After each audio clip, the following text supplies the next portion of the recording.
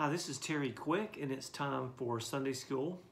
This is the First Baptist Church, and we are ready now to study the Bible together. I cannot tell you how difficult it has been to video this, this Bible study session. I have literally made six attempts this is my seventh attempt, okay? I've tried six times and there have been all kinds of technical problems. I apologize. Thank you for hanging in here with us. We are going to try our best to not let it happen again.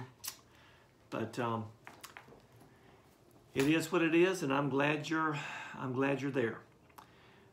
This lesson is going to be from Luke's Gospel, the third chapter. It is session six. The name of it is Prepared. Chapter three is about the ministry of John the Baptist. Um, it is about the forerunner, John the Baptist, the forerunner. So in chapter one is the the announcement by the angels to Elizabeth, to Zechariah and Elizabeth, and also to Mary and Joseph about the coming of John the Baptist, the forerunner of Jesus, and then the, the, uh, the birth of Jesus. And so uh, what we have here is now Jesus has been born. Uh, in Luke 2, he's born. At the end of Luke 2, there is the uh, Jesus and his and, and Mary and Joseph have come down to Passover. Jesus um, is lost by the parents. They can't find him anywhere. Uh, and it, it tells us about the humanity, the humanity of Jesus. Um, all right, so here we are in chapter 3 now. Chapter 3 um, begins this, this passage, begins with um, Luke giving us some intricate, delicate information to absolutely pinpoint uh, within just a few years of when this actually happened. Now, that leads me to talk just a minute about the kind of person that Luke is. Luke, uh, and, and what I try to do, and I know I have some new listeners today, what I try to do is I try to give some uh, some personal traits some personality traits of Luke, the, the gospel writer, so that you can get to know Luke.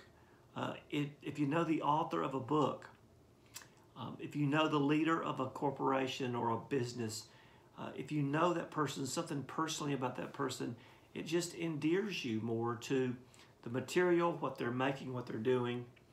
And so what I've tried to do is, is bring Luke down to earth as a, as a real person, a real man. He's, he was a doctor. Uh, he was an employee. Um, Theophilus paid him money to come down to Israel and get the Jesus story. Apparently, Theophilus, which means lover of God, Theophilus was a Christian and he wanted to get this story down. He wanted to get the event. Uh, he was also a Gentile.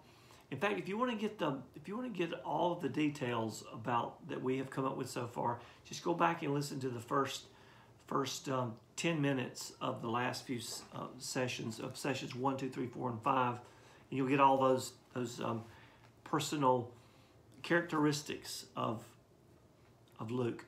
Now, the one I want to hammer on today is that he was a person. He was a person that had likes and dislikes and had certain affinities. Throughout the book of Luke, because he was a doctor, we see that he, he really um, paid a lot of attention to miracles. Uh, he, he also um, paid a lot of attention to people who had who were sick and diseased and who were healed. So there's a lot of a lot of attention Luke gives that the other gospel writers do not give. He gives to to people who are hurting and people who are suffering and struggling. He also uh, has an affinity, has a, um, a real fondness for people who are poor and how they're treated by the rich. He has a, a, strong uh, affection for people who are in the lower rung of the social the social strata. He had Uh, he mentions shepherds, Samaritans, tax collectors, uh, Gentiles, uh, and peoples of all kind. Um, he also uh, had a lot of interest in the Holy Spirit. You're going to see the Holy Spirit uh, more than you see in the other Gospels because Luke was trained and skilled uh, as a medical doctor in the in the Greek world, in the Gentile, the Greek world, the Greek philosophy, Greek medicine, uh, Greek culture, uh, the Hellenistic uh, culture. He, was he was raised in where they had to have facts and figures and um, and so God chose Luke to um, to speak His word to be recorded for us from the perspective of a Gentile, someone who wasn't in that Jewish community and, and, and who did not have the Jewish mindset. And that's very refreshing. So that's a little bit about Luke. We'll continue to talk about Luke as we continue through the, through the book. Now, we come to John the Baptist, and I, I want to break this down. I have a real heart for John the Baptist because he had such a cruel ending. His head was cut off. Uh, he died in, a, in imprisoned. And I want you to, I'd like for you to read that story in the book of, of Mark, uh, the, the horrible death. And in crying out, uh, he sent a, a word to Jesus Jesus, if you're the promised one, why am I in this jail? Are you, the, are you really the one? Or, or should we look for another? Um, he was he was depressed. He was wondering, God, I know I've done everything you've wanted me to do, but I don't. But why why is my life ending this way? So my heart just really goes out to John the Baptist. It goes out to the babies that were slaughtered um, when Herod went down to try to get rid of this Messiah that had been born, and to their my heart goes out to their parents. Um, my heart goes out to, to Jesus who was beaten. He did nothing wrong and beaten so severely, you know. And uh, I, I, just John is in that in that small group of people that, uh, and Uriah also Uriah, Bathsheba's husband. He was one of the thirty-one mighty men of David, and and Uriah, uh, his wife was Bathsheba, and uh, David had him murdered, so he could have her, and uh, took her to be his wife. Um, and so John is just one of these people that my heart really goes out to. And I want to encourage you because we're not going to we're not going to spend much time with him in, the in the near in the future uh, in the scripture. And I really want you to, to do some digging there. But we want three aspects of John the Baptist. Three aspects of John the Baptist. We want to talk about the man very quickly. We want to talk about um, the the mission that he was on, and then we want to end with the, the message that he preached. Now, this little outline that I've created is different than the outline in our book, but that's okay. I want you to read the passage and come out come up with your own outlines. I encourage all my Sunday school teachers to do that. Um, when I read through the text, things jump out at me as to how I want to present it and how I understand it. And so the the um, the outline in the book is great, and we are going to look at the outline in the book. But I want to first break it down to the, the man, the, the mission, and the message. The message, uh, in the message of John the Baptist, we're going to look at the outline that our uh, Sunday school lesson writers present to us. So, who is John the Baptist? The man, he was proclaimed by the angel, and now his birth and his ministry is a fulfillment of Scripture. So, John, the man, boots on the ground man, is a fulfillment of Scripture, telling us, telling us that prophecy is true. Prophecy always comes true, and uh, whatever has been prophesied will come to pass. Uh, he was um, a Nazarite uh, in the um, in Luke 1.15, uh, the angel tells Zechariah this son that's going to be the forerunner of of the Messiah. He's not going to touch alcohol. Well, that's a clue, that's a hint to us that he was going to be a Nazarite, meaning that he touched no wine, no, no alcohol, his hair was not cut, and he was not to touch dead bodies or people who had touched dead bodies. Not even if it was his, in his own family, to not be around them at all. Um, Nazarite means to be singled out special for God because God has a purpose for that person, a special purpose. And he was to be isolated from from other people to, um, to keep his message pure and untainted from, uh, from temptation and, uh, and from the world, from the temptations of the world, rather. Uh, some famous Nazarites were um, Samuel, the priest Samuel. Um, he's the one that anointed Saul and then ultimately anointed David. Uh, another one was uh, Samson. Samson, remember his long hair. And he was not supposed to touch dead bodies, but he did. He touched a, a dead, he, he killed a lion. And, uh, and he was not supposed to, to touch anything dead. And apparently uh, he, he, he violated himself, violated his vows when he did that. And of course, he was not supposed to have relations with, with women. He, he did all, he violated his vow many times, but he was, he did have a very special role in the history of Israel. And so John the Baptist was a Nazarite. He was promised by the, uh, by the angels as a fulfillment of, of, uh, of prophecy. He lived in the wilderness. In John, I mean, in, in Mark, uh, the first chapter in Mark, uh, you can see uh, in those first, uh, first few verses of Mark, Mark begins describing the describing the ministry of John the Baptist. And um, he tells us that he wore camel's hair, he uh, and a leather belt around his waist, and ate locust and honey. There, there's no other Bible character that we get that much information on what he wore, what he wore to work, what he ate for, for lunch, what you know, belt around his uh, around his waist, and and he preached, stayed out in the wilderness. That was his that was his area. People would come to him to hear him preach. He didn't go to them. He didn't go all around uh, uh, Palestine. He stayed right there. And he was so different, so unique, strange even. People would even today call him weird.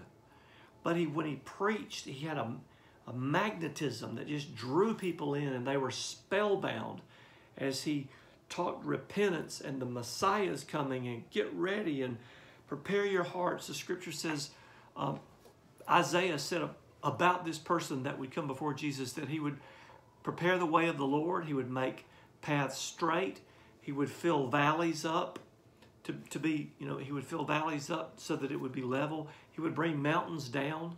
Okay, uh, what is he talking about here? Landscaping? No, he's talking about attitudes. He's talking about pride. He's talking about ego. He's talking about spiritual corruption. He's talking about this man will come and say, listen, if you're going to see or hear uh, the Messiah, you're going to have to uh, begin uh, getting on the same page as him and stopping your evil and wicked ways and your, your evil mindsets and the way you do religion. He's going to expect this of you, and he can give you the power to live that way. So, everybody who wants to know and learn about Messiah and be ready for him, you come and you listen. So that was that was the man and also the message. And we want to move from the man to the message.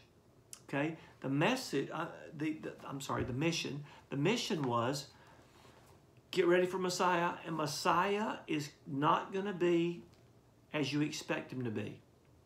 So the man was very unique, almost weird, preaching a message that was that was that was hard on the ears, hard on the mind and heart. Okay, but his mission was he he, was sent to warn people that if you don't listen to me, you're going to miss Messiah because he's not going to be the one you think he's going to be.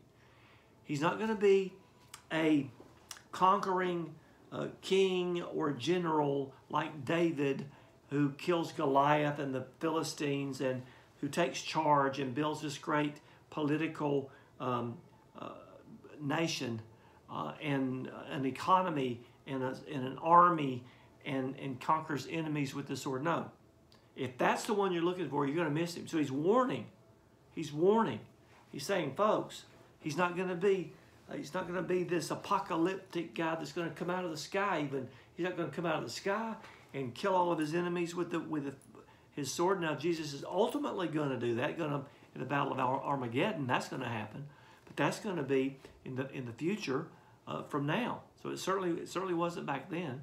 So he's saying he's not going to come out of the sky. He's not going to be a ruler on a white horse.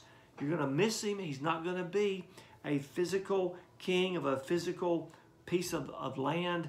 He's going to be a spiritual Messiah, a spiritual king, a spiritual warrior, a spiritual hero. And if you don't, if you're looking for the one who wields a sword, you're going to miss him. All right. So we've dealt with the man. Kind of strange. Camel hair, suit, belt, eaten uh, uh, from the honey, uh, from the honeycomb and locust. And I can't even imagine. Did he take locust and dip them in honey and crunch them? I don't know. Doesn't sound very good to me. Probably a lot of protein, but.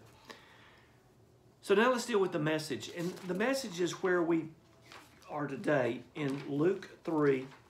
Uh, and if you'll look at Luke 3, look at verses 1 and 2, that's the that's Luke the historian given all these names that you can date and you can find these places. He Even tells who the who the Caesar was, who the governors were in the area, who the high priests were in that time of John, and then John's very own father. So he's the historian that has to have facts. That's what I love about the Bible. I love that you can go to these places and you can dig on these tells. Um, uh, tells are cities that have been covered over and over. They, they've been destroyed, and then uh, a new uh, a new group of people would come and build on top of it. All over the, the land, the, the Holy Land, you have these tells where there's um, where you can dig down and find. You can find Jericho. You can find Hebron. You can find uh, all these different places. Uh, and so there's all this history there. And then, um, then there's the Isaiah passage of, of what he was going to be doing. He's, he's going to be making a, uh, making a preparation for, uh, for the Messiah. And then here is the message, okay? Here's the message that starts in verse 7. And folks, I just want to warn you, it's rough. It's not how I would start a sermon. Of course, I'm not John the Baptist, but John the Baptist, he started off this way. He said to the crowds who came to be baptized by him. Now we're dealing with the message. What did he say to these people? Brood of vipers. Whoa, called them snakes. Who warned you to flee from the coming wrath? Wow. He says, if you want to meet Messiah, look at verse 8. If you want to meet Messiah, you want to be ready for him, you want to be on the, at least in the same ballpark, at least the same stadium. He said, confess your sins, repent. Well, what does metanoia means to change your mind. You gotta, you gotta not just feel sorry. You gotta stop. You gotta admit. You gotta change your mind, and you gotta walk the other way. You gotta live differently. Now, living differently is is proof, is fruit, is doing things stop doing things, but then start doing certain things. Listen to what he said. He says, therefore, produce consistent, produce fruit consistent with repentance. In other words, there's got to be some proof in the pudding. You can't just talk it, you got to live it. Now he's saying, I know you can't do this indefinitely under your own power. That's religion. And that's just gutting it out. And that's just making promises. And that's just turning over a new leaf. And that's just uh, New Year's resolutions. And, and you can't do that under your own power. There's no sticking power. There's no change. Okay? But when you meet Messiah, there's going to be a metamorphosis. There's going to be a change. He's going to change you spiritually. He's going to change your spiritual uh, genetics. And he's going to cause you to be born again. And he's going to cause, he's, his spirit is going to literally live in you. And you're going to be able to to recognize sin and say no to sin because you are a new creation. Well, John's not, John said, I can't give you that, but I can get you ready for the one who can give you that. Okay? And he says, look, don't come to me saying, oh, what do you mean we're vipers? Or what do you mean we're sinners? Oh, we're children of Abraham. We're Jews. He goes, that's not what takes you to heaven. Being born a Jew doesn't get you into heaven. Being born in a church doesn't get you into heaven. Being born into a denomination doesn't get you into heaven. Being born into a Christian family doesn't get you to heaven. See, John is cutting. I mean, I'm telling you, he is just, he's cutting hard at the heart. He said, You people who come out here with these haughty attitudes and, and dressed in your religious regalia and, and, and pointing your finger and snickering at me because I'm not dressed like you and I'm not I don't have the degrees that you have. I haven't been to the schools that you've been to. But he says, I'm telling you the truth. Messiah is here. And those of you who are looking for uh, a king to, to kill the, the Romans and to overthrow the enemy, you're going to a, a, an eternal hell because your Messiah is not a, a physical king, but he's a spiritual leader, a spiritual Messiah. Wow. And he says in verse 9, the axe is already at the root of the trees, meaning Messiah is here. He is about to cut the wheat. He's about to cut the tree. He's going to cut down the fake and the false and the bad tree and grow up a spiritual tree from the from the root of David. All right? From his spiritual root that has been promised uh, through the through the centuries. The axe is ready, is already at the root of the tree. Therefore, every tree that doesn't produce good fruit will be cut down and thrown into the fire. Folks, he's talking about hell here. I wish I could make it easier, but it's but, but I can't. I mean, this is John the Baptist. This is hellfire and brimstone. He's saying, guys, we haven't heard from God for 430 years. Messiah's here, and I'm the last Old Testament prophet because I'm telling you about the coming of the Lord coming of the Messiah, and he's here, and he's coming to harvest the wheat, harvest the souls of people who believe and who are ready and looking for this spiritual Messiah, but he's going to cut down and haul off and burn in the devil's hell people who are not ready, who because of their own pride are saying, that's not Messiah that I'm ready for. That's not religion that I want. I just want something to keep me happy and to tickle my ears and to tell me how wonderful I am and how to have a nice day and how to get along with my mother-in-law and all this stuff. Don't give me this hellfire and brimstone. Don't talk about sin. Don't talk about a cross. Don't talk about suffering. Don't talk about sacrifice. Well, John was all about all of that. And listen to, listen to the response that he got. Listen to the response he got.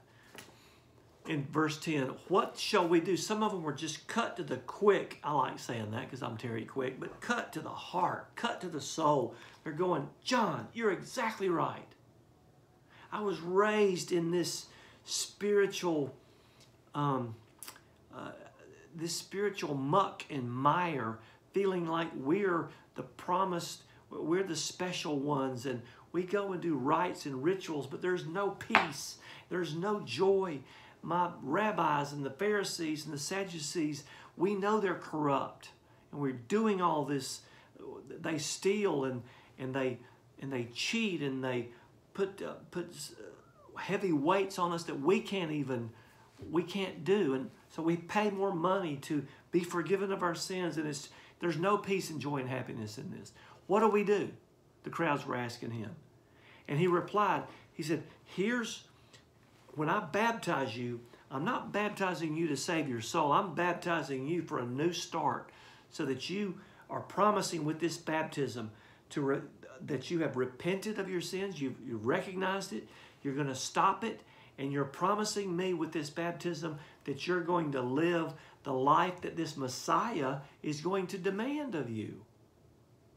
I'm getting you ready. It's called this, this lesson is called prepared. John was preparing them to make sure that they could rec recognize him, not a conquering hero, but a suffering servant coming as your Messiah, but also to prepare them and get them ready for the message. He's going to come out, Jesus is going to come out talking repentance. Repent. Stop your evil and wicked ways. Admit what you have done. Admit that you have blood on your hands. Admit all this anger and this hatred and, and, this, and this greed and this graft and that these things are wrong and let them go and then stop them but see, when Jesus comes into a person's life, not only are we able to see sin when, when it, it comes, but we're able to say no to it, and we're able to walk away from it and not just not do sinful things, but do things that uh, are of the Holy Spirit and things that are good and healthy and right. See, peace is not just the absence of war, it is healthy country that is healthy and educated and, and, and helps the, uh, the, the, weakest uh, the weakest people in a society, the youngest and the oldest, who are the most uh, helpless A healthy, a thriving society is one that puts most of its energy and money and time and care in the weakest parts of that age uh, of, of society, the unborn and those who are aged and can't take care of themselves. You see, that's a healthy society. That's that's not just the absence of war, that's peace. And that's what Jesus brings to a life.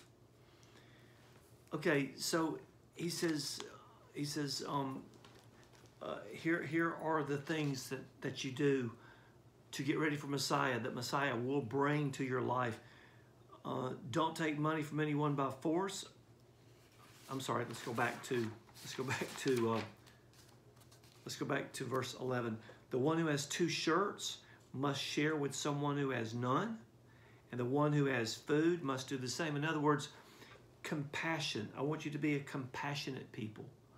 Stop just living for yourselves. And my people, Messiah's people, are going to, the, the, the hallmark, the earmarks, the characteristics are going to be individuals that are compassionate and also churches and groups that are going to be compassionate. The one has two shirts must share with someone who has none. The one who has food must do the same. And so this is what the Christian faith, this is what uh, being a being a, um, a, a born again Christian and a, a church that's full of the Holy Spirit, this is how they act. Okay? And then tax collectors also came to be baptized and said, and they asked him, Teacher, what do we do? Can, can we be a part of the Messiah's group or family or organization? Can we? And he said, and he said, don't collect any more than what you've been authorized. In other words, what he's saying there is be ethical.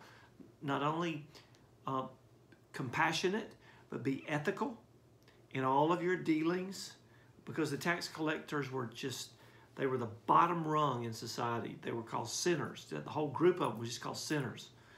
Beyond help. So he's saying not just for the tax collectors, but he was saying to everybody, tax collectors and everyone, I want you to be ethical so, so go ahead and repent of your sins of being unethical and cheating and lying and stealing and all those things. Uh, but I want you to be, I want you to be people who are, who do what you say you're going to do and and only take what, um, only take what is right. Okay. And so he's saying to the tax collectors, this is the kind of of activity. Uh, don't just stop it. Don't just stop taking money, but be be um, a part of the solution in your in your community and in your society. And then verse 14, soldiers came and questioned him and said, What do we do? We we don't um, and, and he said to them, soldiers, killing machines, Roman soldiers, Herodian soldiers, uh, don't take money from anyone by force or false accusation and be satisfied with your wages. What is he saying there? He's saying, listen, I want you to, um, to be a society of, of, of doing the right thing every time. Be righteous. Do the right thing, no matter what, even if it costs you. Uh, so don't use your position as a soldier. Don't use your position um, as a leader. Don't use your position to uh, to to do um, to, to fill your pockets or, or to get pleasure uh, because of your position. He's saying, my people, my, uh, my family is going to be built on compassion. But when I come into your life, you're going to be you're going to be filled with compassion and you're going to give it. You're going to be ethical and you're going to show it. And you're going to be righteous and you're going to do it. Every situation you're going to do, I want you to do the right thing. Now, you can't do this John's saying, you can't do this just with my baptism. My baptism is, is temporary, but, but, but the baptism that Messiah is going to bring is permanent. He's going to baptize you with, with, with fire and with the Holy Spirit. He's going to infill you with his very presence. Now, there was a division about from the people that said, wait a minute, uh, who is this? Is Are we going to go with this, this type of Messiah? We wanted a, a king with a sword and to slay the Romans and is this, is this the one we want? And so verse 15 talks about the division. There was there was talk among the people. Now the people were waiting expectantly, and all of them were questioning in their hearts whether John himself might be the Messiah. He said, No, no, no, no. I am not the Messiah. I know I am strange, and I know I'm preaching a hard word, and I know I have a lot of followers. People are coming from just droves and droves. He, he was a move. John the Baptist was a movement. King Herod was afraid of him, even even though he he uh, put him in jail later. He put it, but but he protected him and he was afraid of him. In fact, when Jesus came doing miracles, Herod thought that John the Baptist had come back to life again. So the people, um, so John answered in verse 16 and said, I baptize you with water, but the one is more powerful than I. He is coming, that's the Messiah, and I'm not even worthy to untie the strap of his sandals. He will baptize you with the Holy Spirit and fire. His baptism is permanent. His baptism creates a change, a genetic change. Spiritual genetics change when you're born again. And you, you identify sin and you can say no to it. And, it, and you have the power not just to see it and to stop it, but the power to do the right thing. And then in verse 17 and 18, it says, His winnowing shovel is in his hand to clear his threshing floor and gather the wheat into the barn. So he's saying, Messiah is here. Judgment is about to come. If you miss him, you're going to hell. If you receive him, you're going to heaven. But you can start heaven now. Listen to what he says. He says, He will gather the wheat into his barns in verse 17. That's us. But the chaff will be burned with fire that never goes out. That's hell. So he says, Which side are you on? Are you are you looking for the right Messiah? Um, and, and today, folks, um, do we think that, that are we following the right Jesus? Have we followed the right Messiah? Are you thinking that just going to church and checking off the boxes? I've been to church, I gave money, I, I've, I've done my Bible reading, I've, I've even listened online. That's, that doesn't do, that doesn't save your soul. You've got to realize your sin and repent of your sin and you've got to to allow Jesus to come in and change your life so that you want to do these things. You have this compassion in your heart. Your heart breaks when you see people who have need. You, you are going to be ethical even at your own expense and you're going to do the right thing. Like, like he, the, the message he was telling, this is how Messiah lives. This is what he's going to do and this is what he expects of you. And the evidence that you are Christians is you live this way you are these kind of people. Wow. Then, along with many other exhortations, he proclaimed the good news to them. He was talking to them about what the kingdom is going to look like and, and how the Messiah is, is, um, is, is alive. At any moment, he's going to step out. And he did. If you'll look at the rest of that chapter in verse 21, go to, go to 21. Um, he, um, in verse 21, he's, uh, Jesus comes and he is uh, baptized. John says, No, I don't want to baptize you. You baptize me. And Jesus said, No, you're to, we're to do this because baptism is not to take sin away. It's the evidence that there's been a death and a resurrection. See, Jesus changed uh, baptism from they, they thought it washed sin away. But Jesus said, You know what? It doesn't wash sin away. It is now, it notes it tells people that I was dead in sin and now I'm alive because Jesus said, I'm going to go to the cross and I am going to be dead and I'm going to be alive. And if you trust your heart and life to me, you are born spiritually stillborn, spiritually dead, but when you receive me into your heart, I will make you to become alive. That's what baptism is about. He changed baptism to a symbol, from a rite, from a ritual to a symbol. He changed the Lord's Supper from the Passover and eating the Passover lamb to him being the lamb that was slain to um, to walk to put his blood over the doorpost of our hearts so that we uh, no longer are dead. We are spiritually alive. Jesus changes everything he touches. Wow. And so and so uh, the holy spirit descended upon jesus while he was uh, when he came up out of the water.